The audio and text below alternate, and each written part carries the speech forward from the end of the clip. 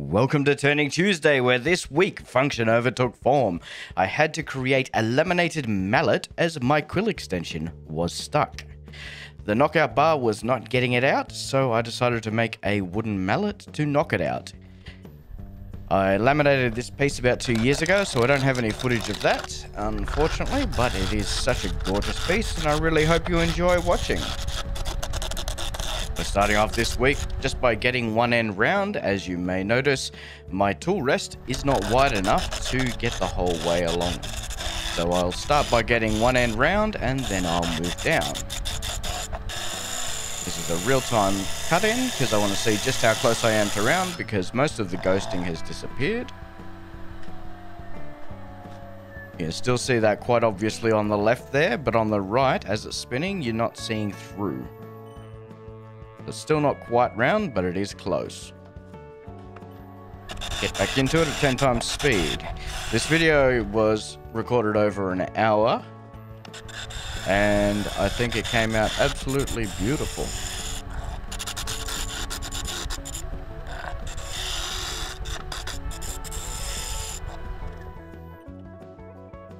You see that sap inclusion starting to come out there.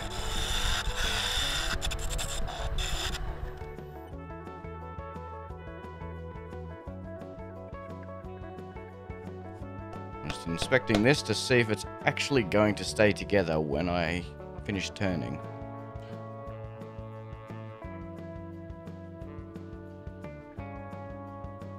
It does look absolutely gorgeous.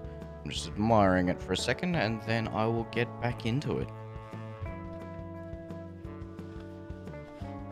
So I've got that end to round. I'm about to move the tailstock to the other end and I will bring that down to round. At least I've got a reference now to get close.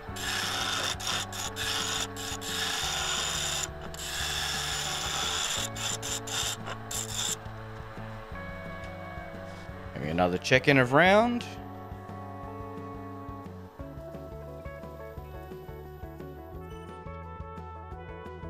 Close enough. So now that I've got a round, I'm turning at about 1800 RPM. As you can see, that lamination's holding up quite nicely. I decided I'd start with the skinny end and get that formed as I don't want to lose much from the top. I'm just going to give it a tapered down later on.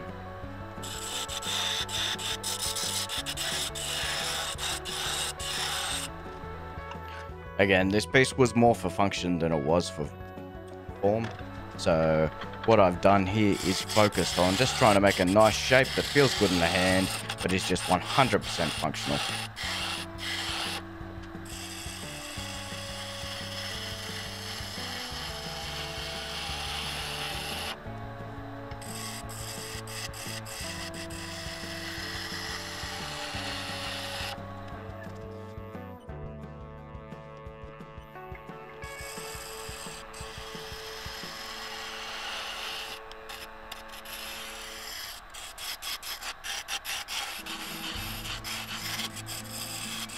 I've just decided I like that shape that I'm coming to now. What I'm going to do is try and keep a raised center of the handle, so when it's sitting in the center of my palm, it rests in nicely. But I'd also like a dip where my thumb and pinky can sit above and below it. And now I've decided to have a bit of fun by swapping tools around. So I'm going to play with the skew, I'm going to play with the, the uh, spindle gouge, and I am going to pull out a round nose carbide tip.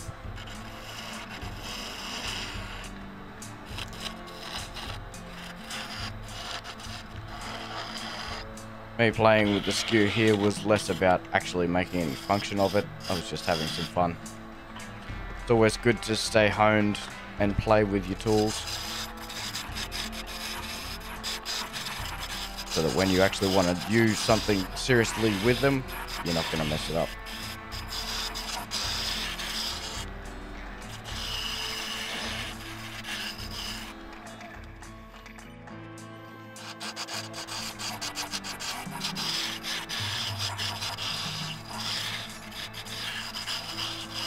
At the time of editing this video, I have broken that tool.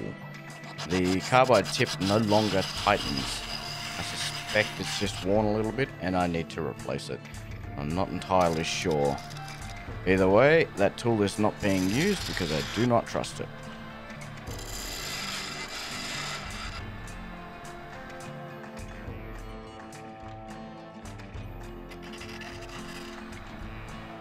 Just getting a nice little edge on that, trying to take any sharpness. So if I knock my hand on it, I'm not going to cut myself up. So I've moved the tool rest about halfway along now so that I can focus on that transition.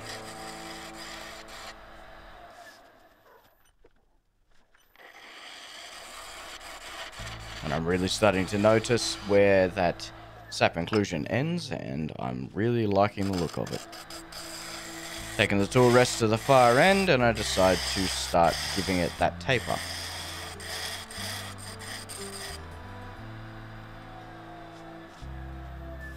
Not everything you make has to be perfect. Not everything you make has to be right in the traditional sense. It just has to do what it has to do. In this case, my job was to make a functional mallet. It's a plus that it just looks beautiful. So I just grabbed the handle again just to make sure I did enjoy that feeling. And now I'm going to give it a quick sand. So I'm going to go 150 to 600. And then I'm going to decide to backfill the sap a little bit.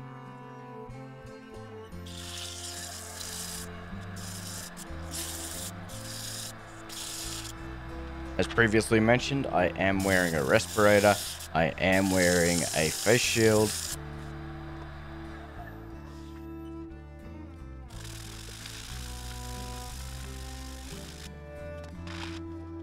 It's important to take care of your lungs.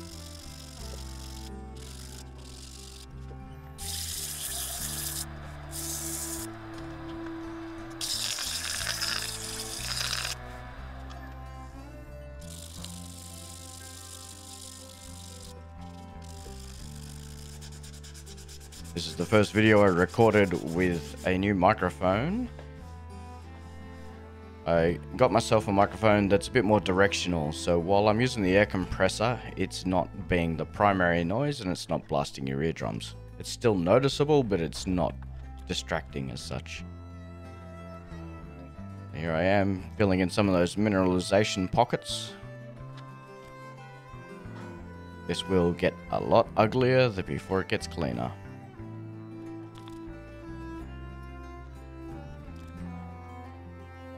But as you can see with that moisture going onto it now, that color is really starting to come out in that wood, which is getting me very excited for the finished product.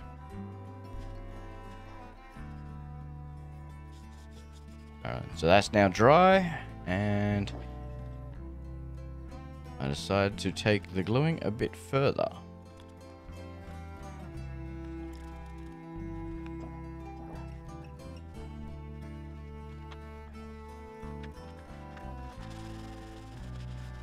Dry off as much of that accelerator as I can.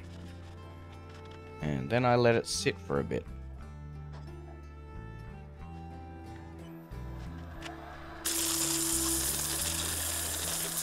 There's probably half an hour between those two video clips.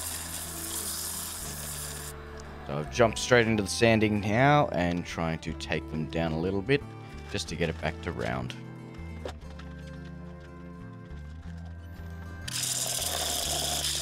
Pulled out some 40 grit, so I'm really trying to go aggressive on this and take it down a few layers.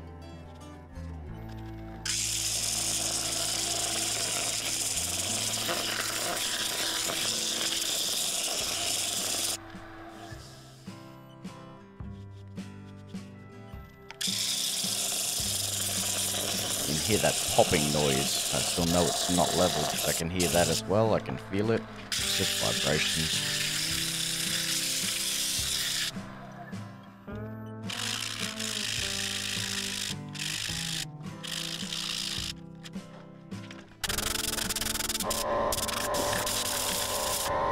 tell you can hear the air coming out on the wood more than you can the compressor.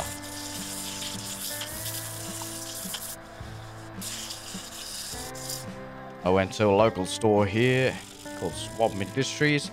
I said to them, look, this is going to be used in a workshop. It's going to get filled with dust and it's probably going to die. So I asked them for a cheap directional microphone and this is the result I got. This microphone cost me about $35 and it just plugs into the back of the GoPro.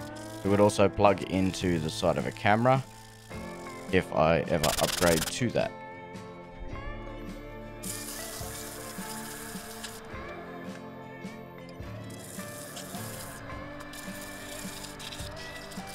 Now I'm just taking it back to the 600 grit and then I will apply some finish.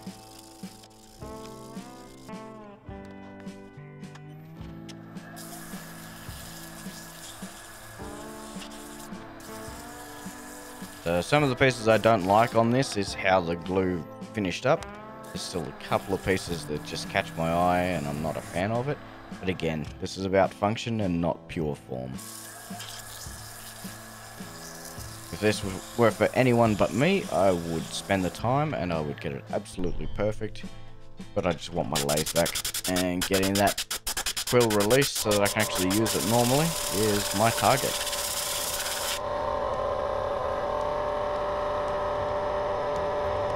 Now, as you can see, there's already quite a nice shine just at 600 grit there.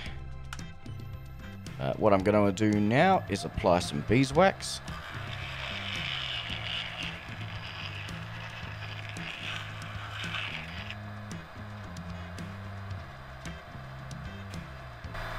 Now, the beeswax is on. I've now pulled out a microfiber cloth. This microfiber, I just slowly move. This is in real time. So as I'm moving along, you'll see it just get a bit more brown and brown and brown. And as I slowly transition, you'll just see it go with the wood. And that color is really starting to come out now, and it's looking absolutely gorgeous. So I'm not only melting the beeswax in, but I'm also burnishing at the same time.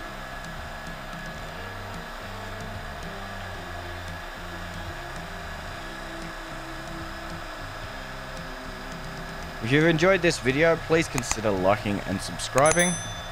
I really would appreciate it, and I look forward to making the next video. Towards the end of this video, I will throw some photos up, including some of the spots that I'm not a fan of. We're not quite finished yet. I'm going to turn it off, have a look at it in real time, and then I'm going to give it a buffer with a foam pad. I'm going to take that shine up another level again.